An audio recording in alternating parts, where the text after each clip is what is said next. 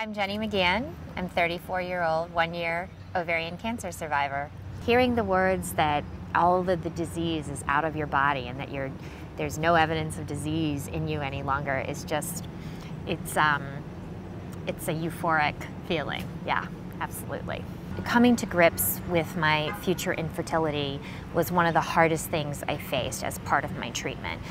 I didn't struggle as much with my mortality because I felt from the beginning um, that I understood my disease well and I understood very well what I needed to do from all aspects, not only from the medicine part of it, but the lifestyle part of it, what I needed to do to fight it. But what um, was hard was to accept that despite that I had the fact that I had taken care of myself despite that I fact that I had done all the other things that my friends have done in terms of working out and going to my doctor and all of those sorts of things, I was the unlucky one who wouldn't get some of the same joys that my friends had. And not only that, my friends were experiencing those joys during my treatment.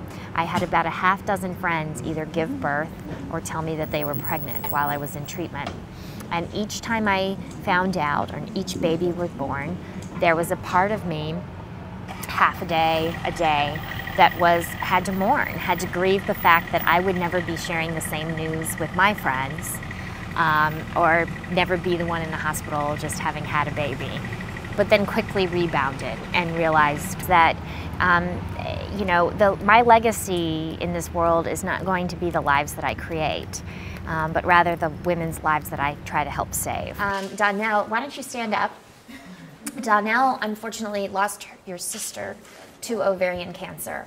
Again, how old was she when she was diagnosed and how old was she when she died? She was only 36 when she was diagnosed and had very subtle symptoms also. Um, she just had uh, a little pain. And as part of that, I'm participating in uh, the Johanna's Law Inside Knowledge public awareness campaign to make women aware of the signs and symptoms of ovarian cancer. I blog about the disease. I visit Capitol Hill to make our lawmakers aware of it. And I do work with all the relevant national organizations to help spread the word about ovarian cancer, the signs and symptoms, so that women get diagnosed earlier and have a fighting chance to save their lives in this battle.